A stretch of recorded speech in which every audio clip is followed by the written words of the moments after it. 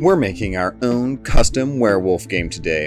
If you're a fan of social deduction games like Mafia or Blood on the Clocktower, stick around, because I'm going to show you how you can think of and design your own roles, and we'll handcraft some cards to go along with our game. I'm doing this because the summer is rolling around right now, and I want a fun game to play around the campfire. So join me in crafting your own Werewolf Mafia game. First, let's pick out some blank cards that we can either draw or glue a design onto. I've picked these cool Mystic Tree backed cards to match the magic slash fantasy vibe I want for my werewolf game. I've linked them in the description if you want to buy these exact same set. Then, let's hop into Canva to start designing what we think these cards might look like. After searching around the elements and layouts, I have come up with this basic border design and card layout that should work well whether I print it out or hand draw it. Now, with our basic card designed, we can start making our own unique roles. But of course, we have to start with the werewolf. This is the design I came up with after searching for some more elements within Canva. Now we have a design and a role to make real, we can start working on it in the physical world with those blank cards we got earlier. I'm choosing to hand draw and color my cards since I know permanent marker will do well on these blank cards. But feel free to print, cut, and glue if that works best for you. All I need for this project are my blank cards from earlier, a pencil, and a few permanent markers of different colors. Referencing my design that we made on Canva, I will sketch out where my elements need to go and use a bottle cap to draw a circle for my role illustration. Still following my design from earlier, I will do my best to draw the image I chose. Choosing simple line images when you're looking through Canva will help you with this step if you also choose to hand draw your roles.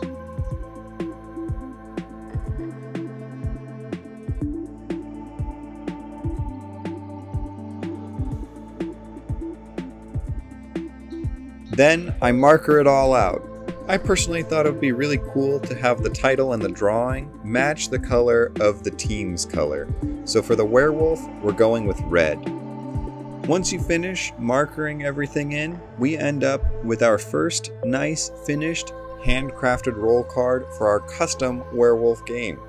Now I know the werewolf isn't all that exciting, but it is essential to any werewolf mafia game. So let's move on to some of our more custom roles that I have designed and how you can create your own. Before we hop into that though, I wanted to let you know that all these roles that we're about to cover are available in the description below. You can download a PDF that you can print for free. Or if you also want to show some support, you can throw a few bucks my way when you download that PDF. There is also a second link where you can buy my Canva template for the game and all the roles for just $5. You'll be able to change and modify any of the roles or add to them. You will also get 10 other card design ideas that I made for you as a bonus. Check these links out in the description below. Now let's talk about some of our unique roles and how you can design your own. First, we have the basic roles the ones you need for any Werewolf Mafia game. We have our werewolf that we already designed, but on the flip side, we have our townsfolk. The townsfolk try to deduce who amongst them are the bad guys, who are the werewolves, while the werewolves get to wake each night and vote on someone to kill between rounds. To make things more interesting, we can add in an investigative role on both sides. I called these roles the detective and the Mystic Wolf. Both of these roles would have the ability to choose someone between rounds and discover what their role is. But even with just these four basic roles, you're ready to play werewolf with your friends. But let's go through the rest of the roles one by one to inspire you to make your own. Covering the red team first, we start with the vampire. Each night, if there is a dead player, the vampire can bring them back as a vampire minions. The minions only get to know who their vampire master is and don't get to know who any of the other red roles are. If their vampire master dies, the minions turn to dust. If the vampire isn't discovered quickly, they may turn the whole town into their covenant. The vampire is a high chaos role because their minions will no doubt spread false information in order to protect their master. The assassin has the ability to kill someone during the broad daylight. The hmm. only reason the townsfolk may struggle with deducing the assassin is because they may be claiming to be a hunter who can also kill during the day if they choose a red role.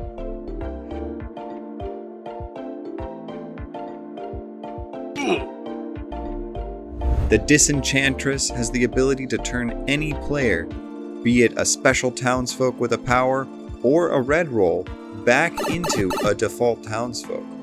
This can take away powers from the townsfolk team or cause a little bit of confusion. The Mad Scientist is a special, really high chaos role. They have the ability to switch players' teams from blue to red or vice versa. They also do not get to know who the other red roles are, and they don't get to vote on who to kill each night. This means they can only win if they make enough werewolves to outweigh the townsfolk. The other red roles also have to be careful because they don't know who the mad scientist is. But if they notice more and more werewolves are appearing each night, then they know a mad scientist is around helping them in the background.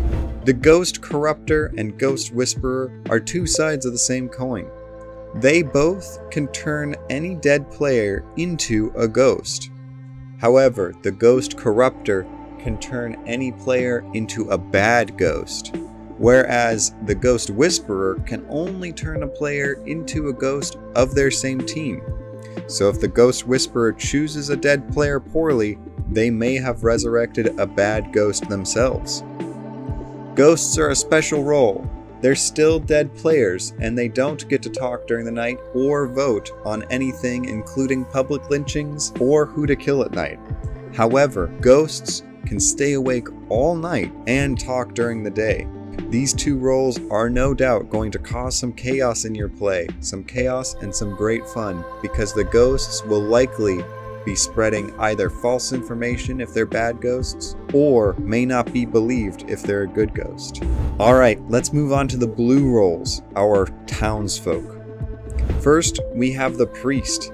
They can protect a player from being affected by any red role actions taken against them for the night. This means stopping the disenchantress from altering their role and stopping any killing that they may attempt to do on their chosen protected colleague. The bodyguard is a similar role. They choose someone to protect just like the priest, but the way the bodyguard protects is with their body. Any actions taken against their protected colleague will instead happen to them. The twins are simple and sweet. There are two of them, and on the first night, they get to wake up to see who each other are. The bus driver can cause a bit of chaos. They choose two players, and whatever happens to one actually happens to the other, and vice versa. The prepper is ready for betrayal. If they are ever voted to be publicly lynched, then they must kill someone on their way through ah. death's door. The mayor can reveal their role and count as two votes when voting towards public lynching. However, the lawyer can choose someone to protect from being nominated from public lynching.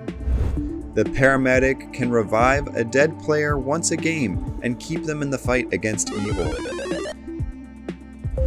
The Alchemist is definitely going to cause some chaos. Each night, they can change a player's role to a different unused role of their same team. This means a priest may turn into a bodyguard, or a werewolf might turn into an assassin. The veteran counts as two people when balancing good versus evil, and if they are the tiebreaker, they also count as two votes during public lynching. This gives the townsfolk one last stand if the veteran is in play. Now let's move on to the unique solo roles. Solo roles are special. They have different win conditions depending on their role and their abilities. First, we have the Grave Robber. Once a game, they can steal a dead player's role and then play as that role for the rest of the game. Next, we have the Fool. They win by getting publicly lynched. This means they'll probably be causing a bit of chaos, trying to get themselves hanged.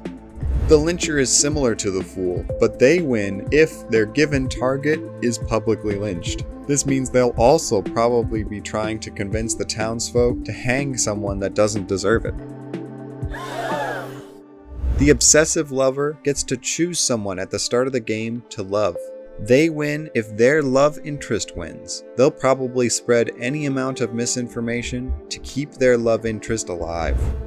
And finally, we have the drunk.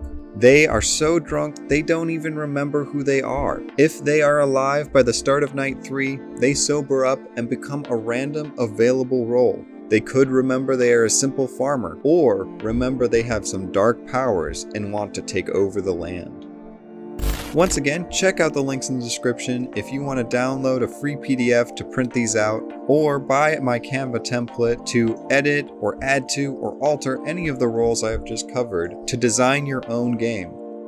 Thank you so much for watching, and I hope you all have some fun deductions around the campfire or at your friendly game night. Stay crafty.